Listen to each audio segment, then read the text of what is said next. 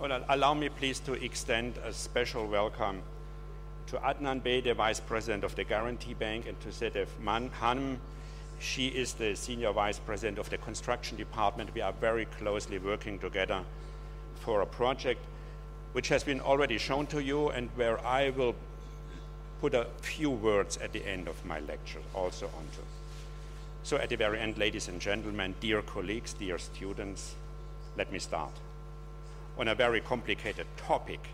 It was not me who picked that topic, so cutting edge technologies in the construction world is something we could talk about several days long. However, I got just an hour roughly to speak, and I hope that I somehow can keep the time. For those of you who might not know who we are, we are a relatively young company, about 200 people, the company has been founded 18 years ago as a one-man company.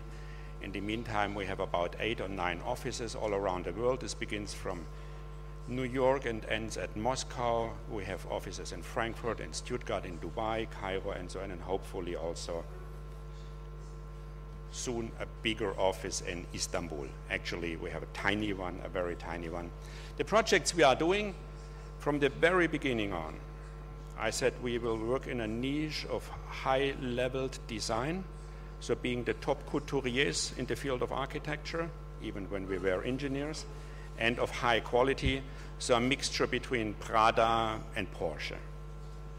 In the meantime, we did many, many buildings in these 18 years, which were all characterized by the fact that it was, and I will hit that point later on too, always an integrated planning where we, as the engineers responsible for structure, for facade, for green technology in the widest sense, where in the planning process, even in the competition process, from the very beginning on. Because this is, and I'm very much convinced, the only chance to produce innovation and to produce quality and also to realize buildings which are really sustainable whatever that sustainable means. We will uh, reach that point later on. Our core competences, and uh, this is then the last picture I'm showing about my company. The core competences is structural engineering in the widest sense. We do not do any road engineering, tunnels, and whatever sewage plants, but structural engineering from the very tiny points like a door hinge, where we are able to spend months with many, many engineers to develop a door hinge which is so perfect and so light that you have never seen it before, up to high-rise buildings higher than 400 meters.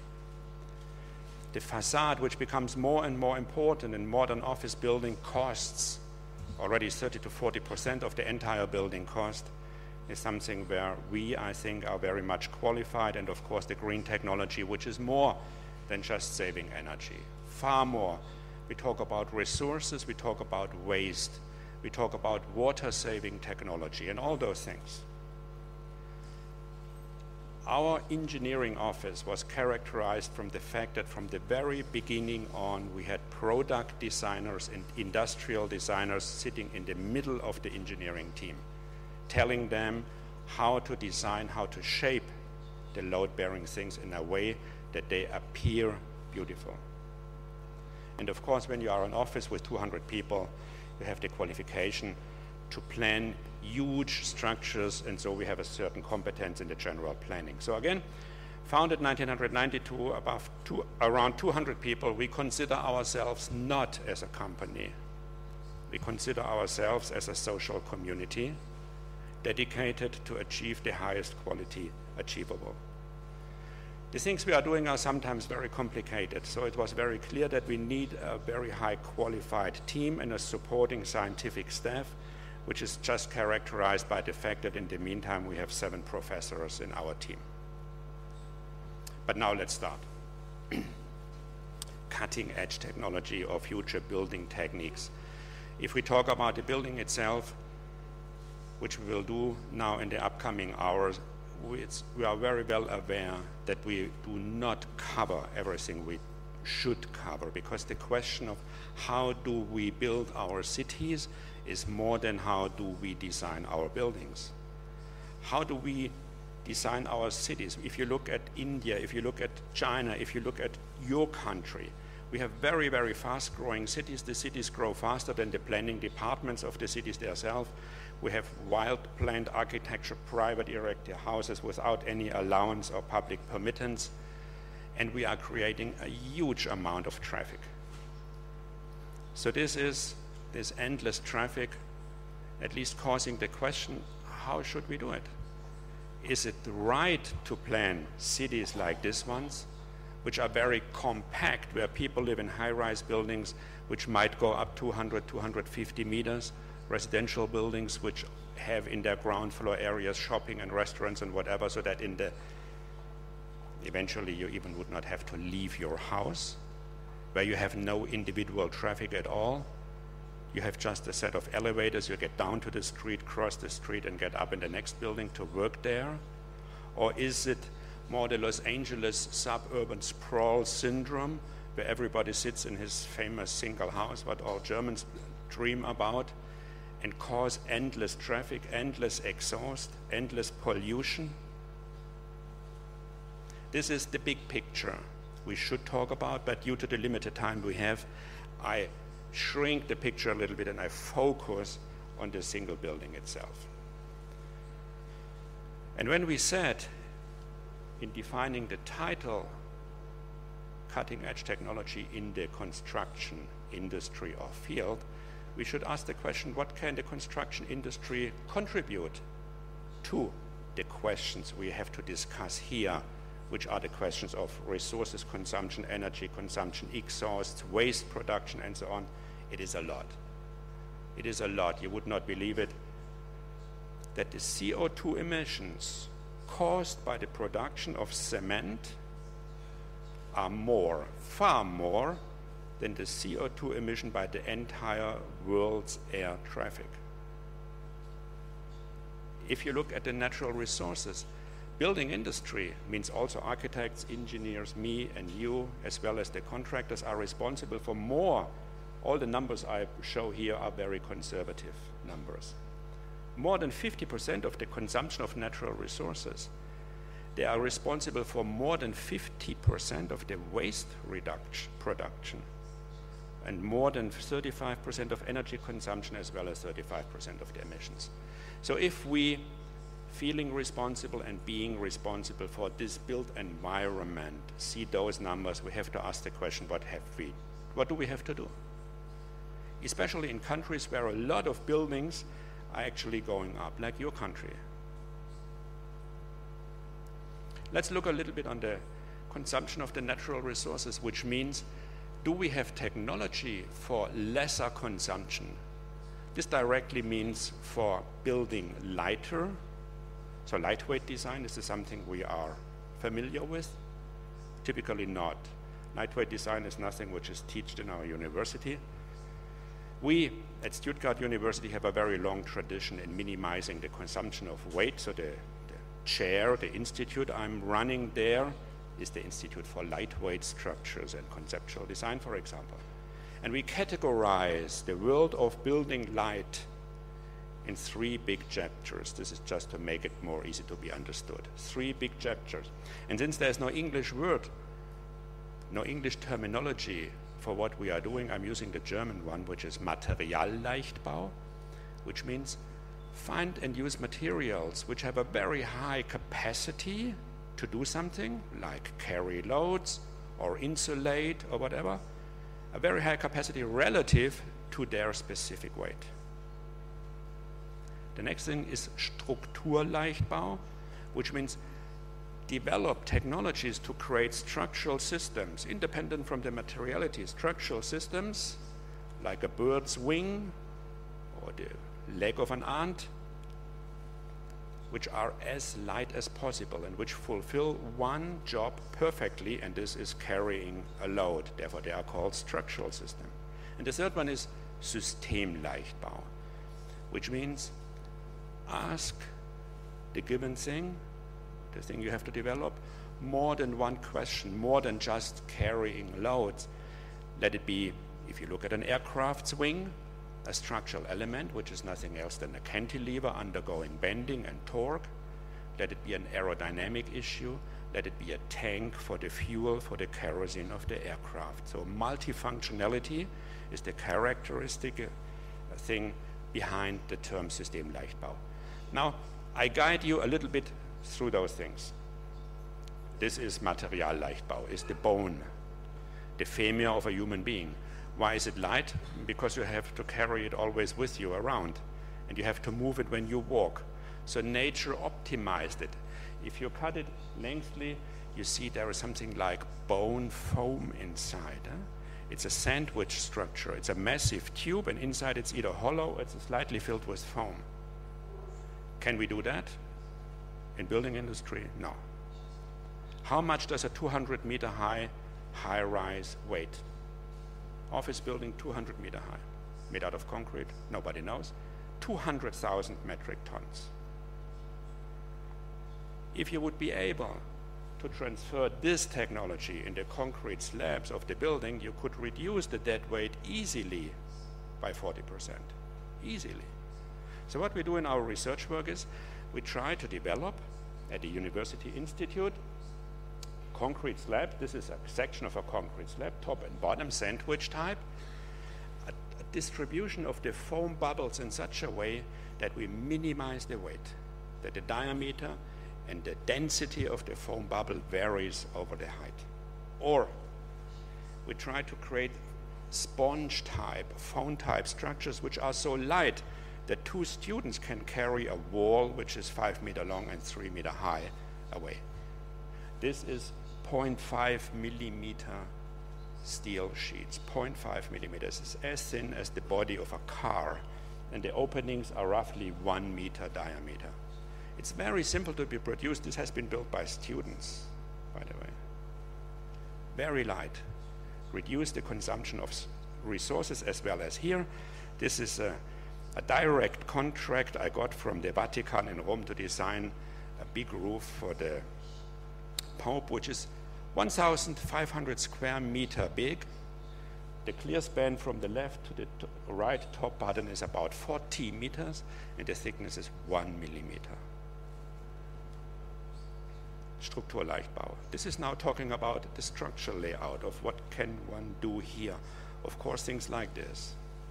It's easy or difficult to imagine that this is the load-bearing structure for an office building, but if you talk about a museum, if you talk about housing and so on, we come closer to the, let's say, to the solution or to the, the, recognition that this could be a way to do something. Again, this has been built by students made out of 7,000 parts fully machined. Nobody had to take a pair of scissors or so.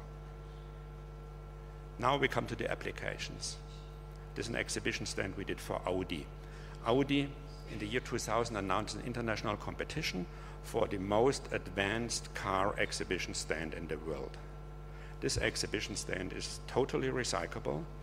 The cost of is it about 7,000 euro per square meter, now I can say that. It has been used for one year in different geometries. It has been produced in Germany, flown over to Tokyo, and had been erected in three days. It is a wall, in total 300 meters long. What you see is 30 meters, the rest is behind. It is six meter high, and the wall is composed out of 13,500 pieces of triangular glass, most of them with a different geometry because you have to adapt with those pieces a double curved surface which dances in plan and which is curved in section. So everything is double curved and very, very irregular. So geometry wise, the most complicated thing you can do. If you look at the details, this tiny detail here, this stainless piece of steel, which is so bright shining, which is that big, which can be installed by one worker in two or three minutes to engineer this, to develop this, to optimize this, Took about four engineers for two months. Eight engineering months to design this detail.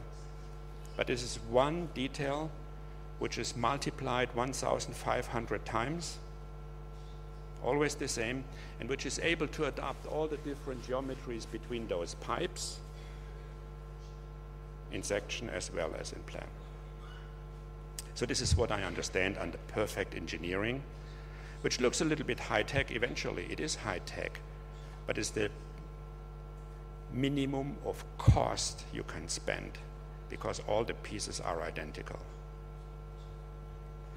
When it comes to larger structures like things like a Bangkok International Airport, in my lifespan as an engineer, I was able to work in total on four big airports.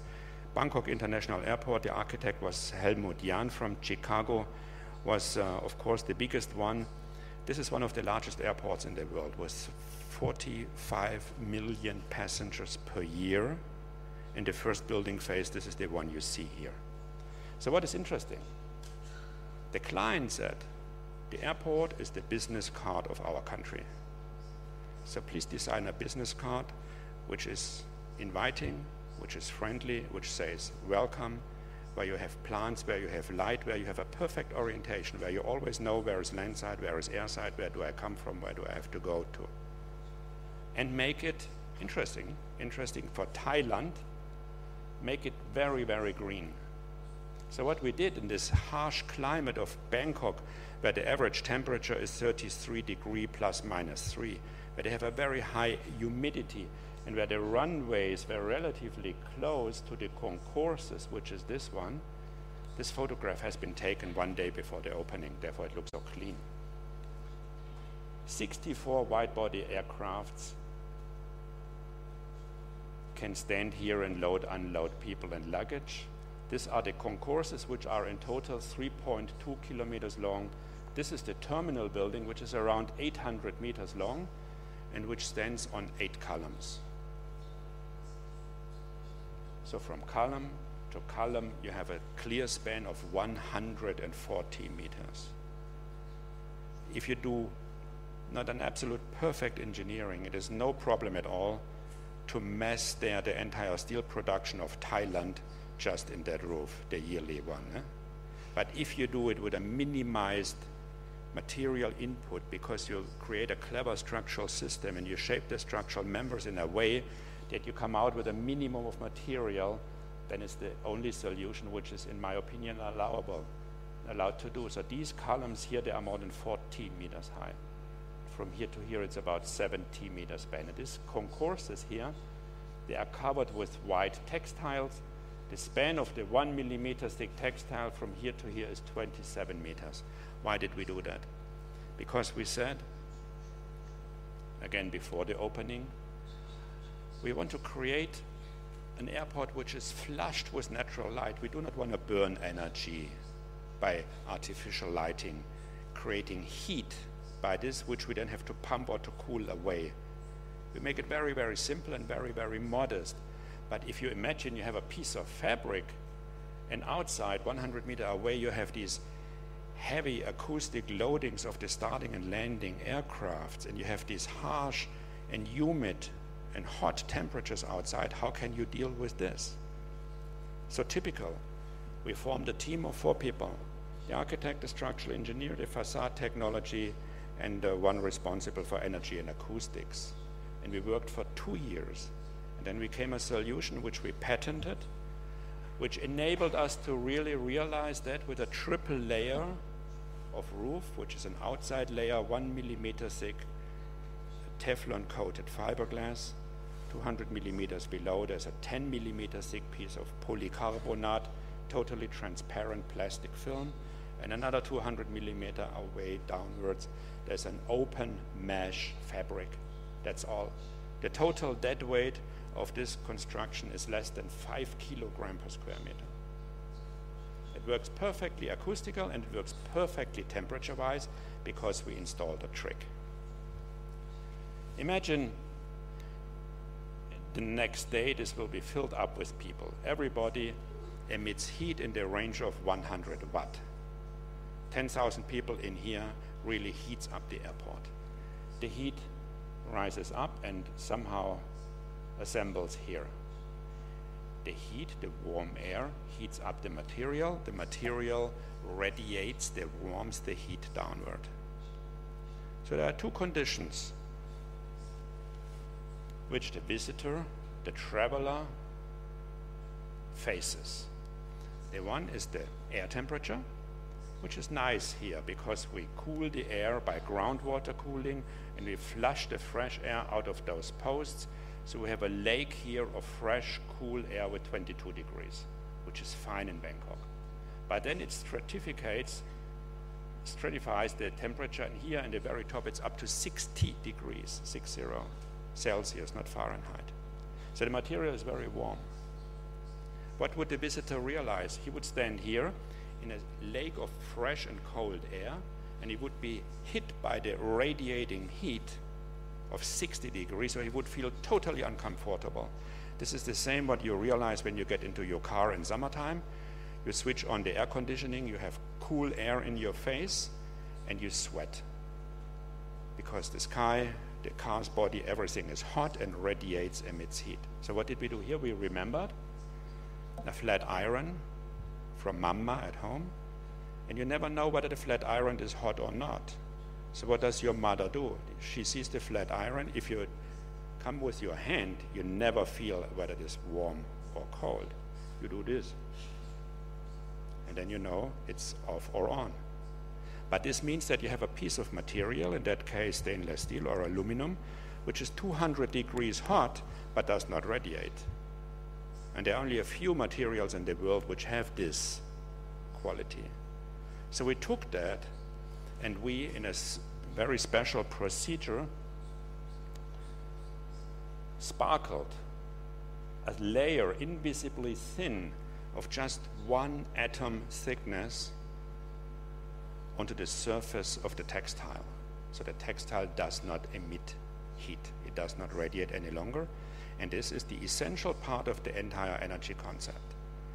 So it's this typical interdisciplinary research, come up with a new solution, test it in a small building, secret, and then apply it to 10 thousands of square meters, and it works. We talk about lightweight structures. Look at this one. It is a maritime museum, of course, the largest in the world because it's in China and close to Shanghai. Lingang is the harbor, the new harbor of Shanghai. This is the area, this is the Maritime Museum, this is two sails, which should remember the sail ships they had in former times. Interestingly, the sail is 80 meters high, 80. The sails touch at one point here, the rest is cantilevering, it is double curved, you realize already this is obviously a shell structure taking advantage of the effectivity of double curved elements. And in between, the huge opening is covered with glass from here to here, six zero meters high. In a double curved surface with hundreds and hundreds of glass panes, insulated glass, each of them with a different geometry.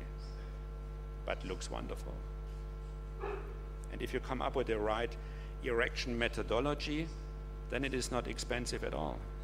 It's just a question how does the planner describe on what has to be built and how can the contractor understand what he has to do. This is the key issue. System Leichtbau, which is now more than one function for the load-bearing light structure. I remember the aircraft's wing. This is a house we are planning in the southern part of uh, Argentina which is 200 kilometers away from the next village. So it has to be self-sufficient. It has to collect the energy, to store the energy. It will be automated. Uh, will be, it will run automatically, supported by a satellite-based system, so that when the client is not at home, the building does not overheat, it does not burn down, etc., etc. These ideas of multifunctional, high effective, and very light elements can be, of course, also applied to high rise buildings. You remember the huge amount of material which is built into a high rise building like this, which is Deutsche Post headquarters in Bonn, a building 42 stories, 165 meters high, totally glazed, and a building which has a vertical slot from the top to the bottom. So there is only five structural elements, these crosses here, coupling the building on the right to the building on the left. Structurally, we have two buildings connected by those crossings. Why did we do this? Of course, this is glazed. It is an atrium which allows natural light to flood into the atrium and to backlit the office from the inner side. So the people working here, they do not need any artificial light because they have natural light from the front and from the back. We have a double facade here, and all the winds are the, the louvers, means the sunscreens, they're in between the outer and the inner skin, so they are protected from dust, from rain, and from wind. Which means with this technology, you can open your window at any time, even at 200 kilometers of wind speed. You can open it when it rains outside. There is no damage to the louver system, and you can breathe the fresh air. You will never have a storm in your office because the wind speed in between the two facades is uh, computer regulated. For the slabs, such a boring thing like the slab of an office building, what did we do? We said, if we have 42 slabs, and if we are able to reduce the dead weight of one of the slabs, they are all identically, by 30%, we gain a lot of materials weight, which allows us then to make the structural elements thinner. So we coffered the slab out here. One also could say we have a relatively thin slab here and we have tiny beams and so on and so on. These are the cores and this is the 160 meter high slot. And then we use this on the one hand side as light reflectors. So we developed special light fixtures which were embedded in the slab. Nothing is hanging downwards. You don't see any light fixture. It's all integrated in the slab. The light shines upwards, and this specially shaped coffer here reflects the light downwards. So we use the concrete slab as a lighting fixture or reflector, and I think this was the first time for a high-rise building ever, we integrated plastic pipes in the concrete where we run warm or cold water through, so we activate the entire slab as a heating or cooling element. This is the facade. Looks complicated but isn't because every detail is the same. Same here. Looks complicated but it isn't. A bank building designed by our friend Sauerbruch Hutton from Berlin and we did uh, the structural as well as the facade engineering. This is a box type window. We also could say this double facade. It's very, very energy efficient. Look at this. The sun louvers are in between the two layers of glass. You can open the window, you can breathe fresh air whenever you want without risking that your paperwork is flown away. And typical for the architects, for Sauerbruch Hutton, they apply, let's say, joyful colors always on their building so that the facade is more than just transparent. As we do in many of our buildings, this is a facade we designed in Washington. This is floor to floor high, floor to floor more or less low metal. This is the air intake and outlet, air intake, outlet, intake, outlet. And here you see glass beams or fins sticking outward. They reinforce the aluminum posts, so they are a structural element to make the facades differ. Normally, if you have a facade spanning from floor to floor, the mullions are typically of a size like this. We wanted to reduce this and in order to make it structurally working, we added a piece of glass. Why did we do that? Because we loved the reflections and absorptions, the game, these fins, outwards oriented, create at the surface of the facade with a very simple trick. Which we will also apply here. A very energy efficient high rise building, about actually it is 430 meters in the planning phase. The client always makes it a little bit higher or lower. At the very end, it might be only 380. Nobody knows yet. Actually, it's 430.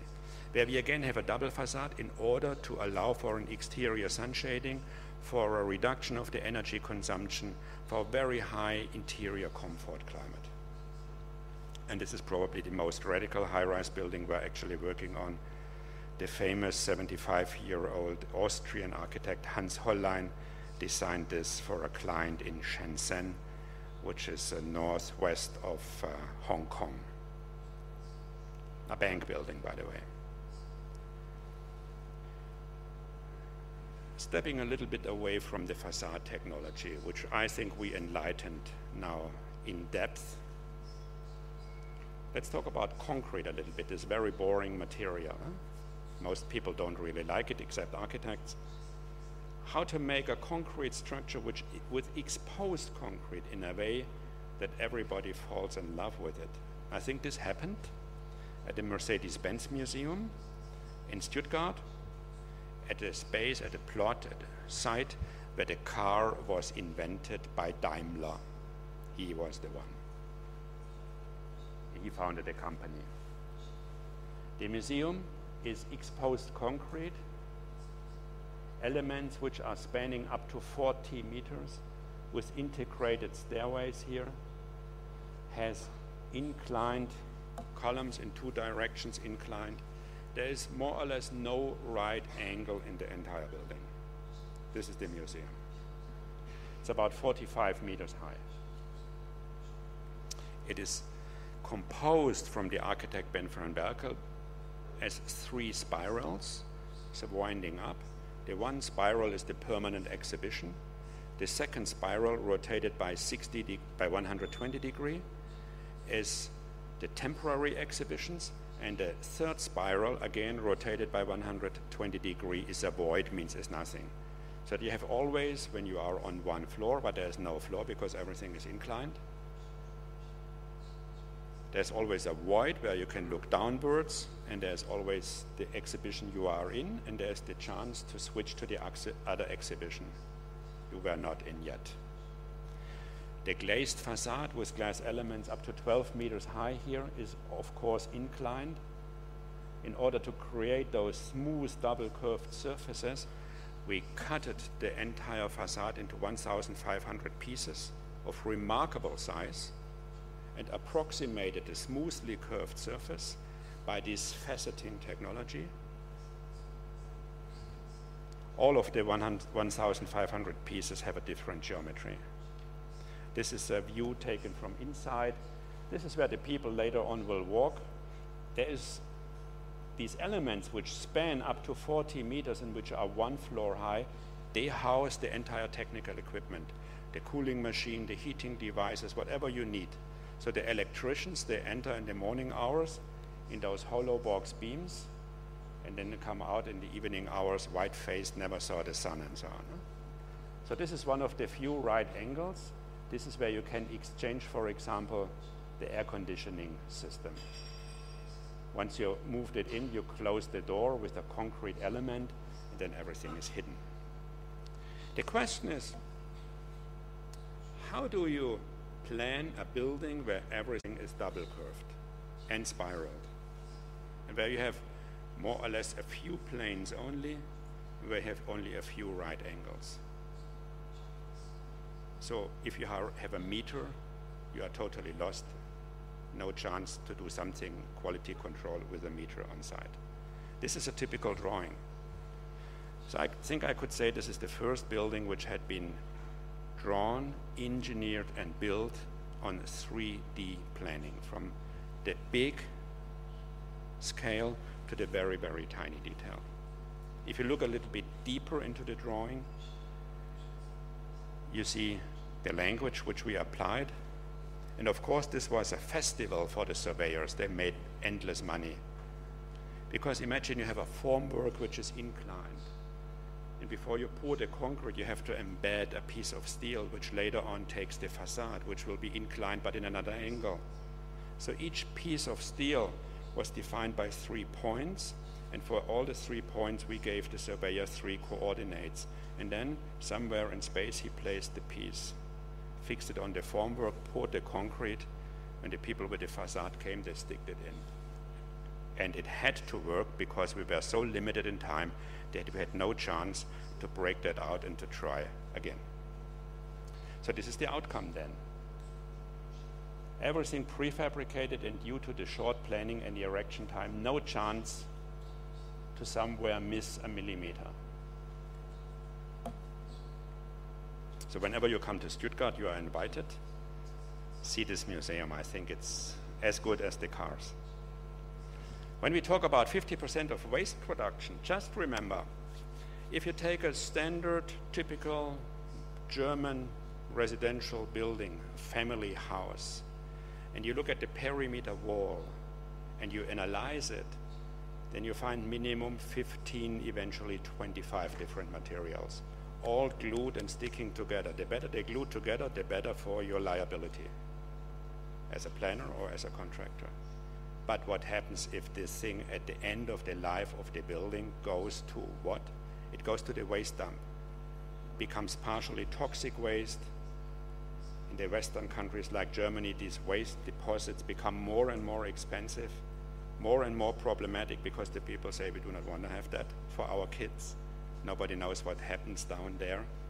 So we could ask the question to the building industry what is your recyclability coefficient? For the car industry, by law, it is actually 85%. 85% of the dead weight of a car have to be recyclable by the producer. Means if you buy a Mercedes, a Porsche, or Audi, or whatever, you get the guarantee. Now they are going to modify the law. It goes up to 90% recyclability ratio. And the new Mercedes cars S-Class, they told me that they are already on 95% recyclability. If we would ask our architects, engineers, and contractors what their ratio coefficient is, I think they would be turned white-faced. But if you imagine how much precious material, not only the toxic ones, how much precious material is in a building, just think about the copper content I said, mentioned this this afternoon. If you take one ton of stone of a very fruitful, means also economically interesting, Chilean copper mine, and you compare it with one ton of a German office building, the copper content, one ton Chile, one ton Germany, then we would have roughly 100 units, whatever a unit is, 100 in Chile stone, and 40 already in Germany. But the thing in Chile, you have to break this down, you have to melt out the copper, and you have to transport it to Europe. In Germany, in Turkey, and so on, you have it already there. But nobody is recycling that. It is no problem to build buildings in a way that they are fully recyclable, like this one. This has been opened a week ago. It is a plus energy building, means it produces energy, it has no chimney, means there is no exhaust, nothing. It's 100% recyclable. Even the cellar down here, which is partially hit by water, we introduced a system where we avoided that we have to paint the concrete box below ground with a bituminous coating. Everything can be taken away easily, is easily to be identified. What is it? How do I have to be recycled? And of course, this is a little bit an over dramatic application of recyclability. It's a very sad place, in fact. It is a concentration camp in Germany, one of the areas you better should not talk about or think about, but it happened and it is there, and this is, of course, a national monument. And due to weathering processes, there was an international architectural competition to cover that area, which is roughly 40 by 50 meters free span, no columns inside. So it was quite clear with a free span of 40 by 50 meters, the building is double the size of this auditorium, but no columns. That most entries to the competition would show engineering sensations like cables and underslungs and whatever.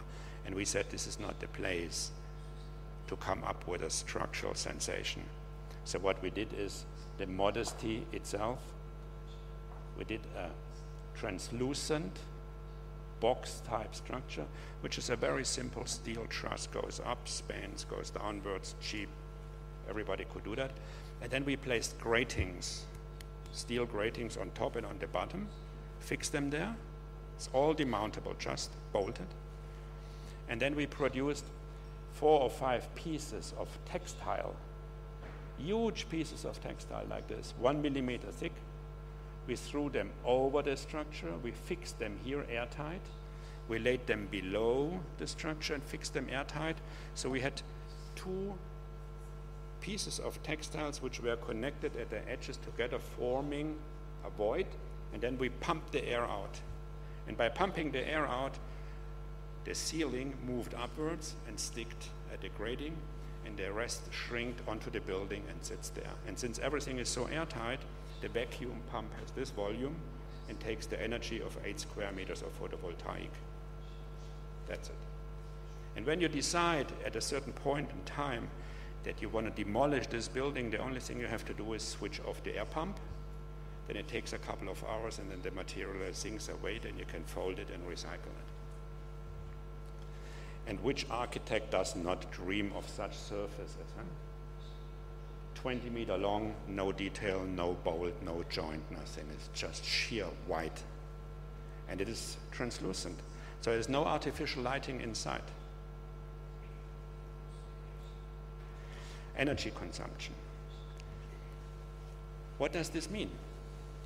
This is the so-called Hubbert diagram. Hubbert was a researcher at a Shell company who developed in the year 1956 a diagram. The diagram was the answer on a question he asked himself, and the question was, when is 50% of the world's petroleum gone? So in 1956 he found out that this is 1992. So he was not allowed to publish this. Some years later he left the company and so on. He became a famous professor in the United States. And in the meantime his diagram is a standard, let's say, instrument of prediction on what happens with the resources of petroleum which we have. In the meantime, you see there are many, many research companies and administrations and governments which publish those curves. They might differ, yes, they might differ, but they show one thing, that the peak point somewhere occurs in the year 2020, plus minus 10 years. And this then means that 50% of the petroleum has been fired typically fueled fired. Now, if we look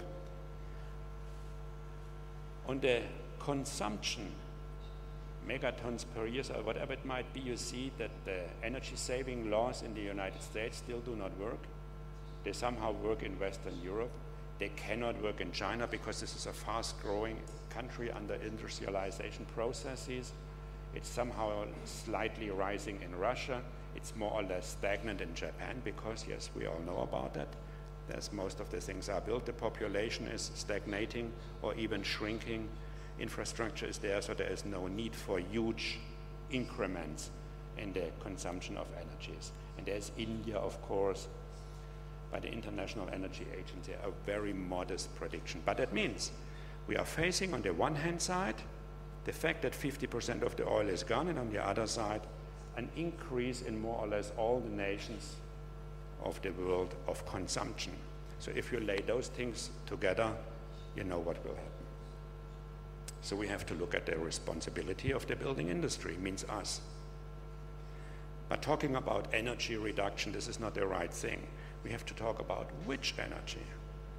The sun has an energy output which meets our Earth, our globe, which is 10,000 times more than the energy we need per day.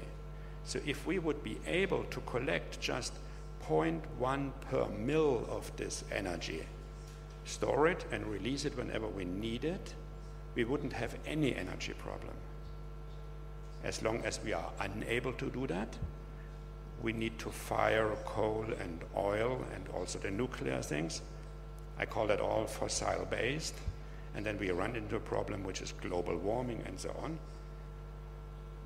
But it's not only global warming, it is this very precious material, petroleum, which we are going to need in the upcoming de decades for, to produce pharmaceutical, to produce plastics, things like this, or computer. It's all about plastic. Imagine what happens if this material is running out. And of course, the global warming, you might believe in global warming or not, but there's enough reasons to reduce the consumption. The consumption is not the one, not only the one which you need for cooling and heating and blowing the air around. This is what we call the life cycle energy consumption. There's also another consumption which we call embodied energy or gray energy. This is the energy you need to get the copper out of the mountain in Chile, to break this down, to melt the copper, to bring it to Europe, to make an electric wire out of it and to install it in the wall. This embodied energy, if we look at a building, has a remarkable dimension. A German single family house built around 1980 has an embodied energy which is about 40 times, four zero times, the energy which the building needs per year. Means before you even move in the building, you installed 40 times the energy consumption you are going to need per year later on. And the same is true, of course, for the so called end of life process when building parts are not needed any longer, or when the building and its entity is not needed any longer. What are you doing then? You recycle it in the best case. But this also needs energy, which is about 5% of the total energy needed over the lifetime of the building. So embodied energy, life cycle energy. And in the life cycle energy, a lot has been done. Politicians and scientists did just forget about the embodied energy aspect. Even if it is so important, they just neglected it, ignored it. Everybody was focusing on life cycle energy reduction. And this is, for example, what the German law prescribes. Very advanced, very advanced, very good politi political decisions. But it means that in the meantime, in the year 2010, we are just dropping downwards for new buildings from a little bit less than 100 kilowatt hours per square meter a year downward to 70, which is not that easy to achieve. The scientific applications, the avant-garde projects, they were always better. The solar houses, the low energy houses, the three liter house, the zero heating energy house, and now I already showed you one example of the buildings we designed, the plus energy buildings. So this is the avant-garde, and this is the code or the law, and the rest is somewhere in between. What came out in Germany is this. I know this is a little bit a critical example. It's the so-called passive house. Save energy by putting a lot of material for insulation around the building, make the windows small, make them totally airtight. So this is like living in a box of styrofoam where you may die by your own exhalation in case the tiny blower which you have in the bathroom fails. I think I never wanted to live in such a building. Eh? So I decided to do the opposite. I invented the active house, which is the first triple zero house, which is no energy consumption. Fossil energy, of course, a lot of solar, but who cares? Solar is for free zero fossil energy, zero emission, zero waste. The building is 100% recyclable. It's very, very light. It weights, the dead weight is only 15% of the dead weight of a comparable building. It is quite high tech. It's not a house for everyone, of course, but it is a statement built in the year 2000 that this is possible without any problem. And then, of course, we apply the technologies we invent and we develop here for other buildings, which are not that radical. This is an, uh, a center for design in the southern part of uh, France, in Saint-Étienne. Whenever you come to Saint-Étienne, visit this. La Cité de Design. The architect is Finn Geipel, and what did we do? This is a monospace, means it's one room, 200 meter long, 40 meter wide, 800, 8 meter high, hollow. Inside you can do whatever you want. You can shift an auditorium, you can make an art exhibition, you can do a scientific conference and so on. It's multifunctional. And to enable this, we developed this structure, which is, look at these tiny dimensions of 600 millimeter height spanning over 40 meters. This is more or less nothing. Everything is very thin, very repetitive, easy to install, and easy to recycle. And then we covered the vertical facade and the roof, which are structurally and facade technology-wise the same, with 14,000 triangles, 14,000. The triangles are all different in function. We may group the functions. Some of them are just there to make the roof water and wind tight and to insulate it. Other ones are there for light transmission. This is just a piece of insulated glass. Other ones are switchable glass, where you can manipulate the transmissivity by shifting a piece of glass which is painted with black strips, stripes against another one, So that in this position you have 50% transmittance and in this position you have 0% transmittance. What you need is an electric engine, uh, quite an old-fashioned thing, so we didn't like it, but we installed it. There are much better things like a few windows which are based on uh, liquid crystal technology, whereby applying a little bit of electric current between 0 and 6 volts, you can modify the light transmittance between, or let's say, plus minus 20%. So from 100% light transmittance down to 60, or from 60 down to 40. And of course, there are elements embedded which produce energy on the basis of photovoltaic, and sensational wise, there are elements embedded which produce electric energy on the basis of photosynthetics. So this is the roof seen from below. You already recognize this zebra type thing where you can manipulate the light transmitting photovoltaic or just plain sheets with insulation below. Very simple, very repetitive, but a very charming appearance. Now we talked about this energy. Let's translate that into costs. A typical European office building, total costs over, let's say, 40 years, four zero years. If we accumulate the cost and say this is 100, what is the cost for the erection of the building itself? It is just 15% of the total cost. 80% is lifetime life cycle running costs like heating, cooling, blowing the air around, cleaning, repairing, replacing. 80%. 5% of the total cost is end of life, interestingly. 5%. And 5% is the planning. So the garbage, the waste is as expensive as the architects and engineers' work. But if you look a little bit closer onto that, what are we typically focusing on? Okay, we all want to have a little bit more fee, and the client wants to have the installation costs as low as possible. Not facing the fact that as a society, not as an individual, as an individual, everybody wants to have his own advantage, but as a society, where we have to look on the total balance, this is the critical issue. And when you apply technologies in planning as we do, where we say easy to clean, easy to repair, easy to replace, easy to recycle, low energy,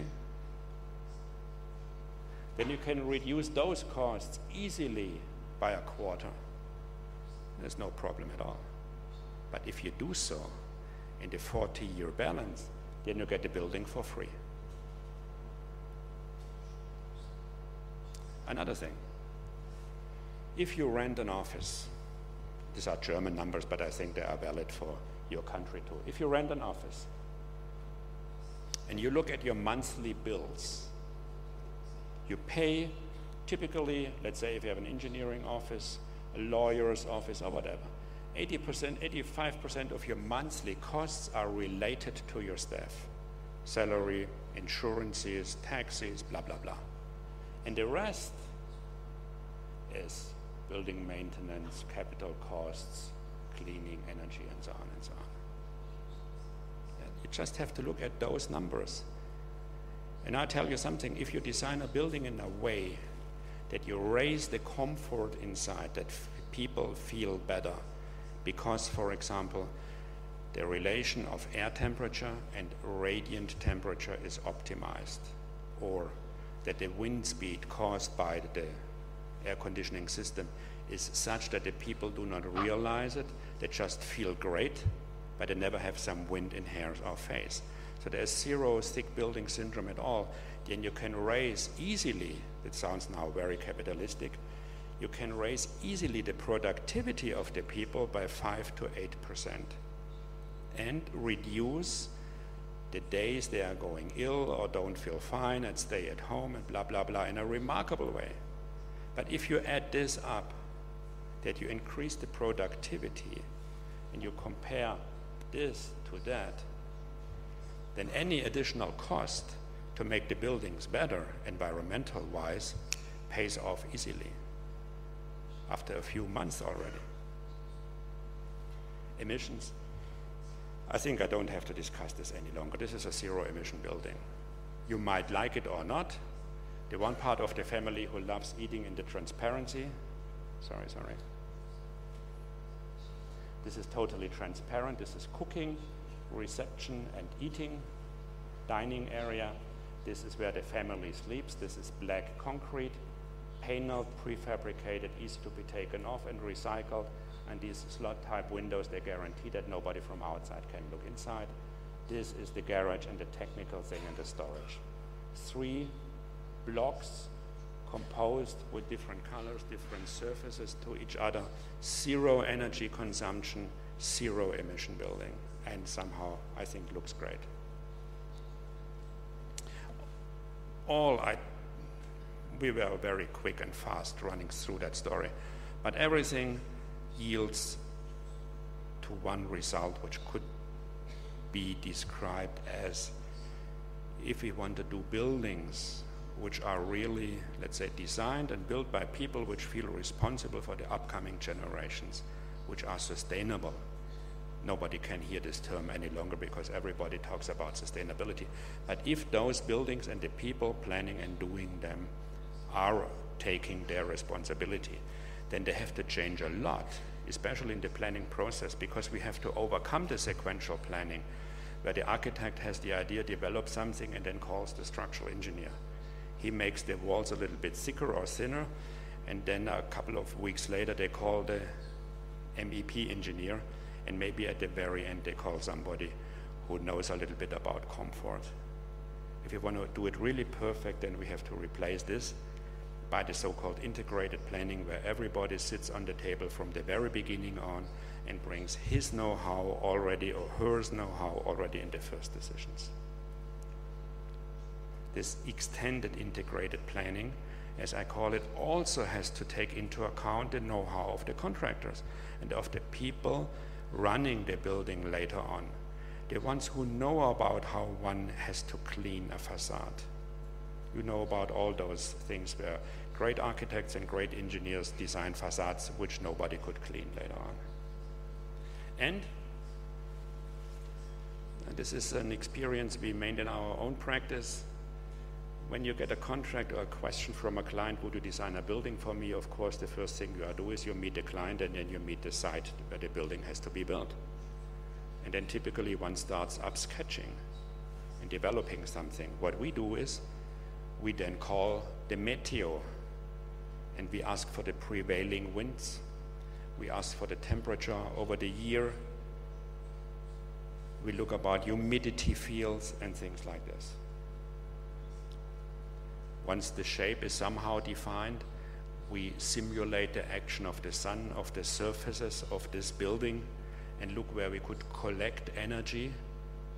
Look where we have, for example, also overheating problems, things like this. Or when the building stands in the middle or amongst other ones, then we do a numerical wind flow analysis in order to find out where do we have accelerated wind speeds. Sometimes we design the shape in such a way that under certain wind conditions, for example, morning wind or evening wind, we heat up the buildings or we cool them down by accelerating or by slowing down the wind.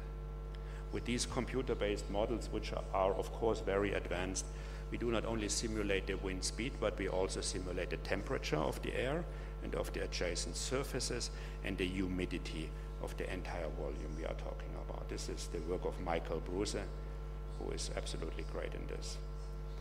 And then when it comes, when it comes to planning of urban quarters, and where we do not really know, okay, is it too hot, is it too cold, do we have to provide shadow, do we have to cool or to heat up the surfaces, how do we have to design the facades, then we do such simulations where we have different artificial people. This is Steve, for example, so-called bots.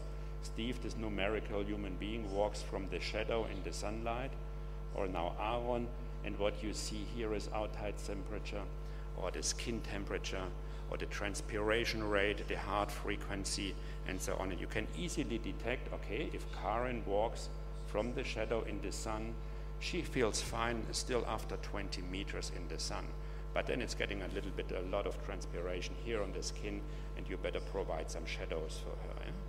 But this is how we then design, let's say, urban areas. And all these technologies, of course, uh, we also applying in our cooperation with uh, Ertun Bay for the Garanti Bank's new building where we design, this is a simulation, concrete slabs, which we activate for heating and cooling by embedding pipes where we run water through, where we consider the entire day life. This is 8 o'clock in the morning, nobody is in the office.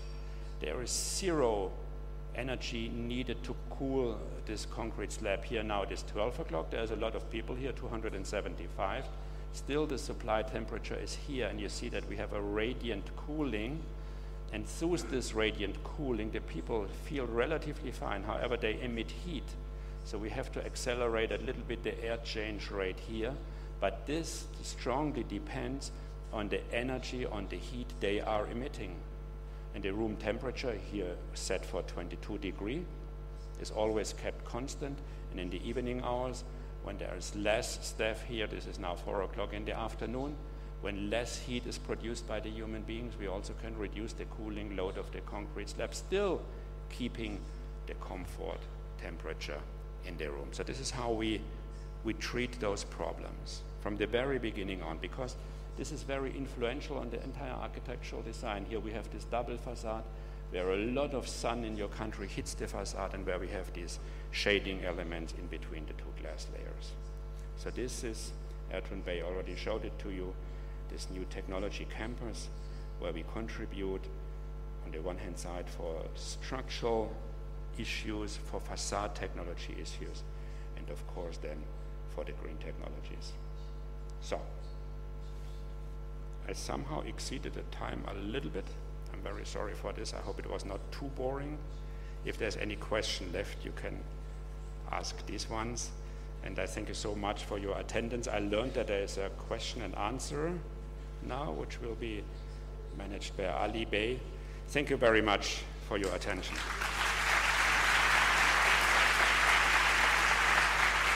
Thank you.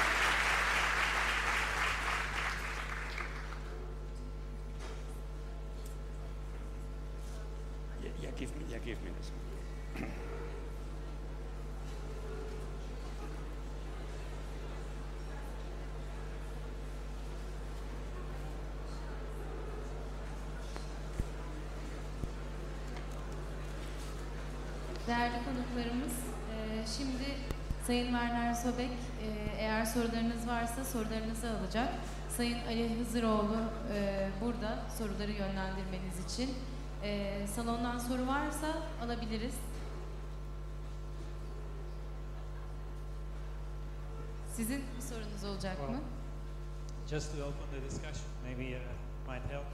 Thank you very much uh, for being here and sharing your experiences with us. Um, I just would like to uh, say that um, during these last 10, 15 years, there has been a lot of uh, development um, in terms of uh, buildings and these kind of technologies. And um, of course, with the new um, crisis that happened a couple of years ago, um, how do you see the, the place of the technology that you, uh, you've mentioned today a little bit with us? How do you see the, the place and role of technology into this new era? I think I need a microphone.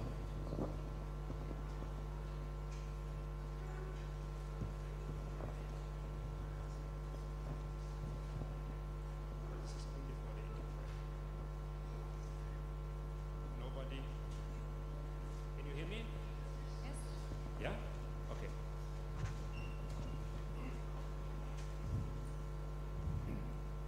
Maybe we categorize it in four quarters. If we look at the top two, in a country where you do not have the technology, it does not make sense to apply technology you are unable to understand. So if we talk about developing countries, let's say like I love Pakistan, for example, or Afghanistan. I have been there as a young man. Unfortunately, you cannot visit those countries, at least in the mountain areas any longer. But in such a country, in the mountain, it would not make any sense to apply sensor technology for things like this. It makes very much sense to apply those things. In Germany or in Turkey or in other countries. It is no problem at all. See, if you look at a, at a new car, an Audi or a BMW or whatever the car is, they are fully equipped with sensors and actuators and electric engines and so on, and they work absolutely perfect. Thank you. So I would say the level on which you apply technology in the building